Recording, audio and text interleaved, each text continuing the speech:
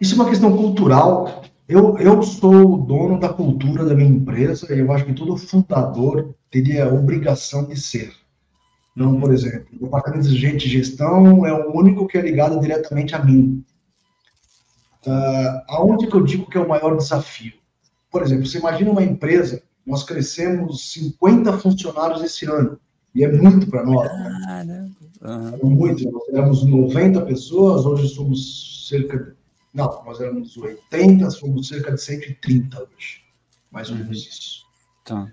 É, muita gente vem com a sua cultura, sim. da sua empresa. Sim, sim. Então, assim, é, é, praticamente um mantra. E isso eu aprendi quando a gente fez, a gente participou do Scale Up da Endeavor, muito legal, porque eles, a gente falava muito de cliente. Toda reunião, né, a gente tem uma weekly toda segunda-feira, que participa a empresa inteira, uhum. e quando a gente começa a weekly, ela começa com esse mantra, entendeu? Que você tem que ter senso de dono, trabalhar liberdade e responsabilidade, data-driven, foco no cliente. Então, assim, é um trabalho cultural, é, é, é um mindset ali, mas é muito legal porque fica mais leve. Por quê? Porque uma, é muito difícil eu chegar para você e falar, Vilnor, imagina uma solução.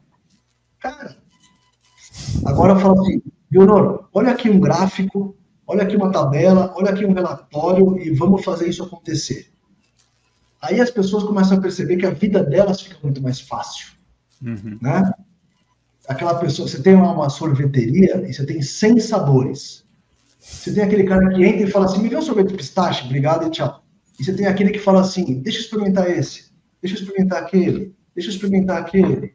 Ai, estou em dúvida que, que você acha? Me dá uma dica, né? Quem não conhece gente assim, entendeu? Qual é o melhor? Qual é o melhor?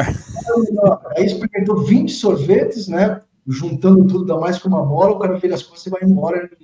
Só te, só te atrapalhou, só tomou o teu tempo. O teu, o teu tempo. É.